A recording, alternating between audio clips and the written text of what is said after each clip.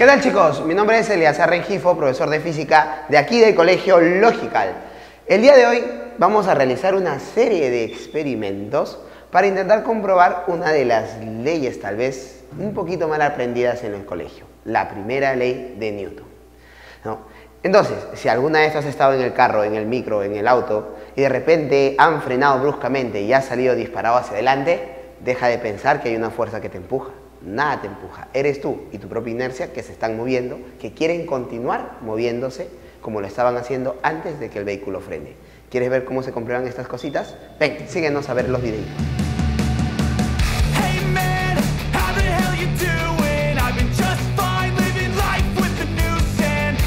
El día de hoy vamos a hablar sobre la primera ley de Newton. Seguro por ahí en algún momento en la escuela has aprendido que nos enseñan en la primera ley de Newton sumatoria de fuerzas igual a cero, el cuerpo en equilibrio. Hay que tomar en cuenta de que ese enunciado no es correcto. No, sé, algunos lo consideran una aplicación, no más allá de la primera y la segunda ley de Newton. La primera ley de Newton nos habla de qué es lo que pasaría si sobre un cuerpo no actúan fuerzas. Pero hay que entender, o hay que saber, mejor dicho, que la primera ley de Newton en realidad no empezó con Newton, empezó con Galileo. La idea era similar.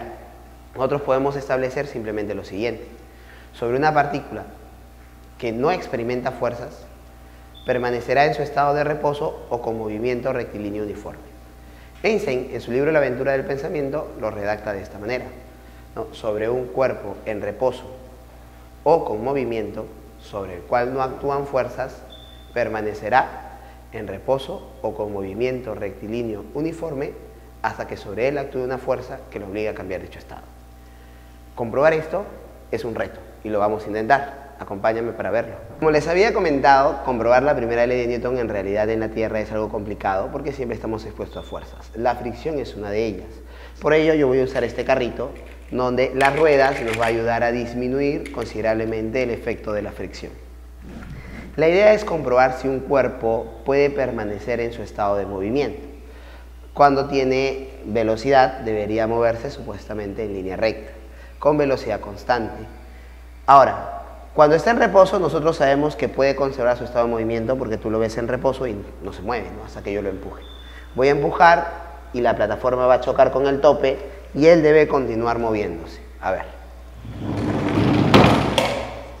Y ya está. Como te diste cuenta, el carrito continúa su movimiento en línea recta ¿no? mientras que la plataforma se detiene. Ahí se está cumpliendo el principio de inercia. Vamos a seguir viendo otros experimentos. Podemos corroborar también que el cuerpo tiende a permanecer en su estado, pero si yo empujo muy despacio la plataforma puede ser que el carrito se mueva. Entonces yo tengo que darle un tirón con cierta fuerza y vamos a ver que el carrito va a caer o se va, a intentar quedarse siempre en su posición. No es un chicle, ¿ah? no vayas a pensar mal, es un poquito el limpiatipo que está marcando la posición. Fíjate acá. El carrito casi cae sobre su mismo punto. ¿Por qué? Porque al no haber una fuerza sobre el carrito, quiere mantenerse en su posición. ¿Sí? Vamos por otro experimento. Vamos a intentar considerar que si la moneda está en reposo, debe permanecer en reposo si sobre ella no actúan fuerzas. Similar a lo del carrito en el segundo caso. Si yo saco la carta rápidamente, la moneda debería caer en forma vertical porque sería atraída por la gravedad. Debería terminar dentro de la botella. Vamos a ver.